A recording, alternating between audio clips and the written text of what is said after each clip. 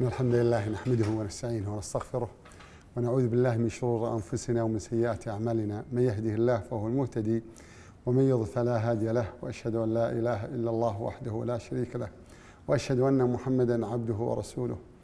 اللهم صل وسلم وبارك على نبينا محمد وسلم تسليما كثيرا إلى يوم الدين.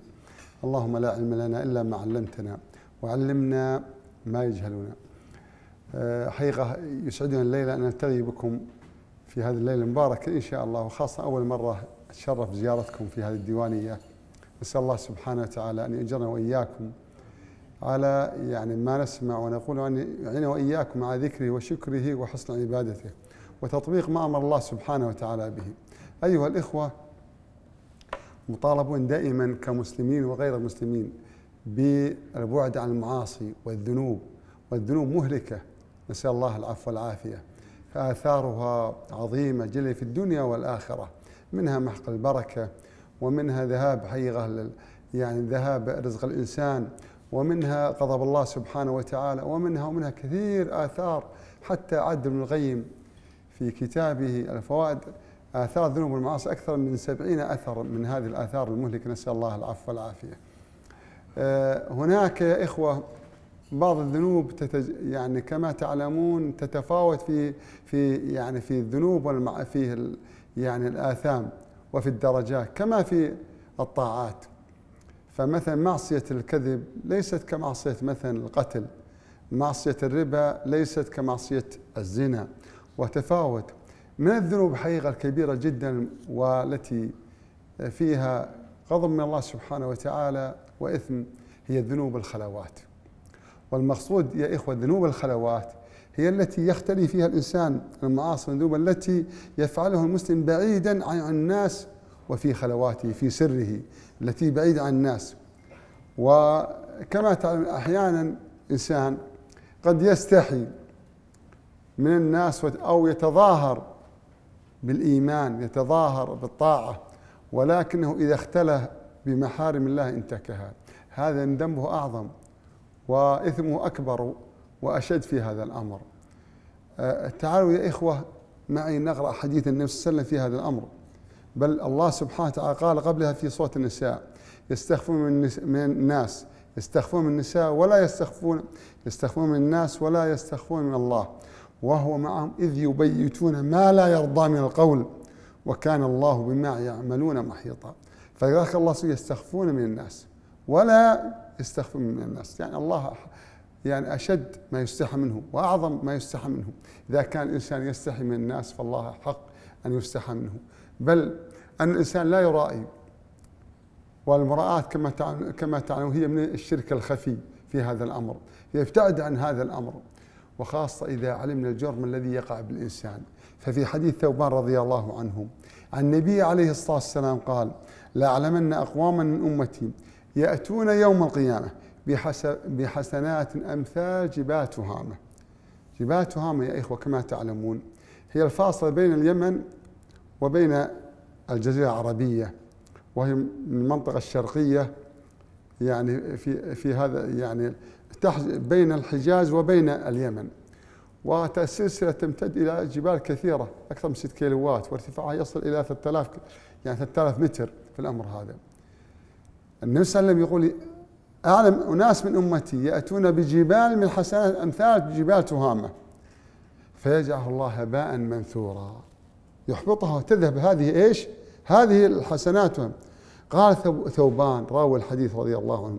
يا رسول الله صفهم لنا جلهم لنا أن لا نكون منه منهم ونحن لا نعلم. كان الصحابة يسألون النبي صلى الله عليه وسلم في هذه الأمور عن الشر وباطنها وفتنها حتى لا يقعون في هذا الأمر. فقال وسلم إما إنهم إخوانكم ومن جلدتكم يعني مسلمين ويكون أقاربكم ويأخذون من الليل كما تأخذون. وأحيانا يصلون ويأخذون من الليل ولكنهم وهنا الشاهد ولكنهم إذا خلوا بمحارم الله انتهكوها. بينه وبين الناس يعمل الصالحات لكن بينه وبين بين نفسه ينتهك يتجسر على محارم الله. أين خشية الله سبحانه وتعالى؟ أين مراقبة الله سبحانه وتعالى؟ أين نظر الله سبحانه وتعالى إليك؟ ألا تستشعر هذه الأمور؟ تنتهك محارم الله في خلوتك. يعني يعني إذا إذا لم ترى الناس في هذا الأمر. ولذلك قال ابن الجوزي رحمه الله في كتابه صيد الخاطر قال حذر الحذر من الذنوب خصوصا ذنوب الخلوات فإن المبارز لله تعالى تسقط العبد من عينه. يعني هذه ذنوب تسقط العبد من عين الله سبحانه. بعد ما يظن كان الله ينظر إليك بجلال ومحبة سقطت من عين الله. وإذا سقطت فأي واد تهلك به بعد ذلك. قال وأصلح ما بينك وبينه في السر. وقد أصلح الله لك أحوال العلانية. يعني لا تنتهك. حرمات الله إذا خلوت بمحارم الله انتهكوها. يكفي يا إخوان أن الإنسان هذه الجبال تذهب هباء منثورا عمره يتعب ويحصل عليها الحسنات ثم تكون هباء منثورا وعيش شديد وعظيم في هذا الأمر. ولذلك الله سبحانه وتعالى أعلم السر وأخفى. لو كان الله يعلم الإنسان أن الله يعلم السر وأخفى ما أقدم على هذا الفعل في الذنوب والمعاصي في هذا الأمر. ومن حقيقة التي الذنوب المع... حقيقة من ذنوب المعاصي أو الخلوات من ذنوب الخلوات التي لا يفتطن لها كثير من الناس الحسد. الحسد كما يا أيها الناس. لا تحاسدوا ولا تباغضوا. والرسول يعني دائما كان يشدد على هذا الأمر. ما هو الحسد؟ الحسد أن تتمنى أن تتمنى زوال نعمة نعمة عند غيرك. بعكس الغبطة. الغبطة أن يكون عندك نعمة مثل ما عند غيرك في الأمر هذا. ولا تتمنى زواله فالمسلم دائما أخو المسلم ويؤثرون على أنفسهم خصاصة وأن الله سبحانه وتعالى أعطى الخيرات للناس وفرعهم. فهذا بالمال وهذا بالولد وهذا يعني خيرات الله وزعها. فما عندك لا يكون عند غيرك وما عند غيرك لا يكون عندك في الأمر هذا. فلما؟ هذا قدر الله سبحانه وتعالى. قدر الله مقادر الخلق قبل أن يخلق السماوات والأرض بخمسين ألف عام في هذا الأمر. فالحسد اعتراض كأنه على قدر الله على فضل الله سبحانه وتعالى. وذلك فضل الله يؤتيه من يشاء. والله قدرات والمواهب وزعها بين خلقه. اكتشف نفسك تجد وانظر إلى نفسك. تجد عندك من الخيرات ما لا عند غيرك والله. فلما تحسد خيرك في الأمر هذا؟ فالحسد من ذنوب الخلوات. ما هو علاجها؟ أن الإنسان يحارب يجاهد نفسه. ألا يعني ويدعو للناس الخير كما يدعو لنفسه في الأمر هذا. وإذا إنسان دعا المسلم أخيه بظاهر الغيب قال الله وكله ملك يقول ولك مثلي ولك مثلي في هذا الأمر. والواجب دائما يا إخوة أن يسارع دائما بالتوبة والاستغفار. قال تعالى وتوبوا يقول يا عبادي الذين أسرفوا على أنفسهم لا تقنطوا من رحمة الله. إن الله يغفر الذنوب جميعا إنه هو الغفور الرحيم. وتوبوا إلى الله توبة نصوحا. فالإنسان دائما مطالب أنه إيش؟ يقبل بالتوبة والاستغفار. كلنا جميعا يا إخوة نذنب. ولكن العبرة بالتوبة النصوح الإخلاص تقبل على الله سبحانه وتعالى. أنك إيش؟ ما من مسلم. قال لولا لولا لم تذنبوا لأتى الله بأقوام يذنبون فيستغفر الله فيغفر الله لهم. وهذا ميزة الإنسان المسلم دائما. لكن لا يتعمد ولا يستمر في المعاصي.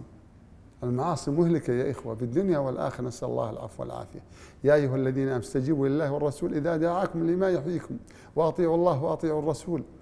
هلاك والله يا إخوان. كم من الناس يشقى ويتعب هم وغم بسبب هذه الذنوب. والله مهلك الإنسان في الدنيا والآخرة. نسأل الله العفو والعافية. ومن أعرض عن ذكري فإنه له معيشة ضنكا ونحشره يوم القيامة أعمى. قال رب لما حشرتني أعمى وقد كنت بصيرا. قال كذلك أتتك آيات آياتنا وكذلك اليوم تنسى. فكما أنه نسى الله سبحانه وتعالى فالله ينساه يوم القيامة. طيب ما هو المخرج من ذنوب الخلوات؟ استشعار عظمة الله مراقبته وأن الله معك. ما يكون نجوى ثلاث إلا هو رابعهم ولا خمسة إلا سوادسهم الآن قال ولا أدنى من ذلك ولا, ولا أكثر إلا هو معهم استشعار أن الله يراك ليل نهار مطلع عليك سبحانه وتعالى. ولذلك يدفع الإنسان للتوبة. في الحديث الصحيح عن أنس بن مالك قال لله أشد فرحا بتوبة عبده حين يتوب إليه من أحدكم. كان على راحلته بأرض فلاة على راحلة على بعيره بأرض فلاة فانفلت منه هذه الراحلة وعليها طعامه وشرابه مزاجه كله يعني في الأمر. فآيس من بحث عين ما لقاها فجلس تحت شجرة فاضطجع في ظلها. قد آيس من من راحلته. فبينما هو كذلك إذ هو بها قائمة على غيمة على عنده فأخذ بخطامها ثم قال من شدة فرحه الفرح اللهم أنت عبدي وأنا ربك. أخطأ من شدة الفرح. فالله سبحانه وتعالى يا إخوة يفرح بتوبة العباد. ولا يعني ييأس الإنسان مهما بلغ من الذنوب سواء كانت صغيرة وكبيرة فأنت أمام رب الرحيم اللطيف سبحانه وتعالى. يدعونا دائما يعني أن الله يعني يستحي أن يرد أن يرفع يديه المسلم يقول أن يستحي يرده صفرا. والله ترفع له أعمال يعني الليل والنهار والنهار إلى الليل ثم ينظر في طبائع يعني في صحائف العباد ويعني يغفر لهم إذا طلبوا المغفرة فيها. وسبل المغفرة كثيرة جدا منها المداومة على الصلاة منها الصيام التطوع. منها الصدقات منها كف الأذى عن الناس. ولله الحمد يعني مشارب وأنواع كثيرة جدا. الله فتح لك باب التوبة في هذا الأمر. فلما العجز لما اليأس من رحمة الله. لا تقنطوا من رحمة الله في الأمر هذا. أقبل يقول الله لك أقبل. فاليوم عمل ولا حساب وغدا حساب ولا عمل في الأمر. اليوم صندوق تضع فيه أي شيء أعمال في الأمر هذا. إنما يا عبادي إنما هي أحصيها لكم. الله يحصيها لكم. فمن وجد خيرا فليحمد الله. ومن وجد غير ذلك فلا يلومن إلا نفسه. لا تلوم إلا نفسك يوم القيامة في الأمر هذا. لأن الله دعاك ثم دعاك. وأنت الآن بأتم الصحة العافية ولله الحمد في هذه الدنيا. ونحن في حقبة من حقب التاريخ. فالله سبحانه وتعالى منذ بدء الخليقة ومنذ آدم عليه السلام أرسل الله رسل وأنزل الكتب. وحيا من حيا على الإيمان ومات مات على المعاصي والذنوب نسأل الله العفو والعافية. ونحن في هذه الفترة الحقبة الزمنية إنما هي أعمال بسيطة أعمار بسيطة. أعمار أمتي بين السبعين والثمانين لا يتجاوز هذا الأمر في هذا الأمر. وأنت سننتقل كما انتقل غيرنا في هذا الأمر. والمرجع إلى الله سبحانه وتعالى. اعمل لدنياك لا تنسى نصيبك من الدنيا. لكن استشعر عظمة الله سبحانه وتعالى. قم بأوامر الله. انتهي عن نواهي الله سبحانه عن نواهي الله سبحانه وابشر بالخير في الدنيا والآخرة. ومن يتق الله يجعل له مخرجا. ويرزقه من حيث لا يحتسب. في الأمر هذا. والله سبحانه يبارك بأعمار العباد في الصالحين منهم في هذا الأمر. قد يكون الإنسان يسأل كيف نتخلص من هذه الذنوب والمعاصي؟ أول شيء يعني قلل من الجلوس خاليا. إذا إنسان دائما وجد نفسه أنه يقبل على ذنوب يعني خلوات هذه الذنوب. حتى يعني لا يجلس فاضيا حتى يسد مداخل الشيطان في هذا الأمر. كذلك التجاء الله تعالى. اللهم عنا ذكرك وشكرك وحسن عبادتك كما جاء في حديث وسلم وأسألك خشيتك في الغيب والشهادة في الحضور والغياب ومنها دعاء وسلم اللهم اغفر لي ذنبي كله دقه وجله وأوله وآخره وعالنيته وعلانيته وسره. حديث رواه مسلم. قال علانية والسر في هذا الأمر. كذلك مجاهدة النفس والذين جاهدوا فينا لنهدينهم سبلنا. ودفع الوسوسة ومحاولة تزكيتها وهذا ومعرفة هذه الأوقات الأوقات محسوبة عليك. ما يلفظ من قول لديه رغيب وعتيد. ملك يمينك وشمالك يسجل عليك الحسنات والسيئات. كذلك منها علم أن الله ستر عليك. مرة مرتين لكن إذا استمريت في المعاصي الله يفضح سريرتك في الأمر هذا ويبطيهم فإن الله سبحانه وتعالى مكر بالعصاة والمستمرين على يعني غضب الله سبحانه وتعالى. أفأمنوا مكر الله؟ فإنه لا لا يأمن مكر الله إلا القوم الفاسقون. كذلك عود نفسك دائما مبادرة بالتوبة الاستغفار. النبي صلى الله عليه وسلم يقول والله إني لا أستغفر الله في اليوم أكثر من سبعين مرة. استغفر الله سبحانه توب في الأمر هذا وعود نفسك على الاستغفار وعلى التوبة على الأمور هذه. كذلك ترك ذنوب السر ومجاهدتها. والأمر تعويد هو يا إخوة. إذا إنسان تعود على الطاعات في السر والعلن تعود عليها إذا تعود على أنه يعني يعمل في الطاعات في العلانية وكذلك يختلي بها في السر يتعود عليها.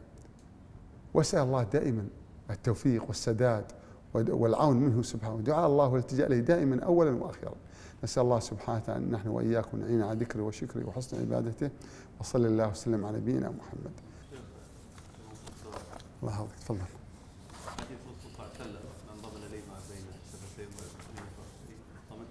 نعم. طيب كل يمكن من اصعب الذنوب اللي وأكبرها ذنبا يعني مو قد تكون من الكبائر الغيبة والنميمة. نعم. قد يعني إذا كنت نصيحة أو كلمة مختصرة عن عن كيف الاقلاع عنها قد يصعب خاصة مع الأيام هذه يعني. جزاك الله خير. أجمل إن شاء الله. الحديث رسول الله الحديث الصحيح قال من يضمن لما بين لحييه ومنكبيه أضمن له الجنة. لأن حقيقة تتأتى المعاصي من شيئين بين اللحيين اللي هي يعني لسان الإنسان. وهل يكب الناس على مناخ خيرهم إلا حصائد ألسنتهم؟ وآفات اللسان عظيمة. مثل ما تفضل الشيخ الغيبة والنميمة والسب والفحش ليس المؤمن بالطعان واللعان والفاحش والبذيء. يمسك إنسان لسانه في الأمر هذا. ويقول السلف الصالح كنا نجاهد أنفسنا أكثر من نجاهد أعمالنا. اللسان في الأمر هذا. يكبر الناس على يعني على ألسنتهم في الأمر هذا. الأمر عظيم. وكم تفرقت من مجتمعات وأسر وقتل بسبب هذا اللسان. لقد كان عمر الخطاب يمسك لسانه فقال هذا الذي أوردني الموارد يعني المهالك يقول في الأمر هذا فيظن الإنسان يراقب لسانه ولا يتركه آه، يعني آه، ولا يترك له آه، يعني السبيل يتكلم بكل كلمة ما لهذا الكتاب لا لا يقال صغيرة ولا كبيرة إلا أحصاها في الأمر هذا.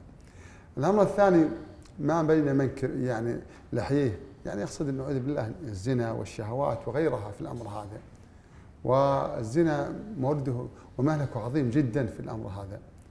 آه، الله سبحانه تعود به وفاعله. جاء في حديث النبي صلى الله عليه وسلم أنه قال لما اسري بي قال مررت على ناس يعذبون عراة نساء ورجال. أعلاه ضيق وأسفله واسع. فإذا أتتهم النار ضجوا ويريدوا يخرجوا ما يستطيعون. فقلت يا جب من هؤلاء؟ قال هذا هؤلاء الزواني والزونات في الأمر هذا. ولا تقربوا الزنا إنه كان فاحشة وساء سبيلا. امره عظيم جدا. فالذي يمسك لسانه وكذلك ما يعني ما بين خف خذيه الله سبحانه يضمن له الجنة في الأمر هذا. فالأمر عظيم جدا يا إخوة.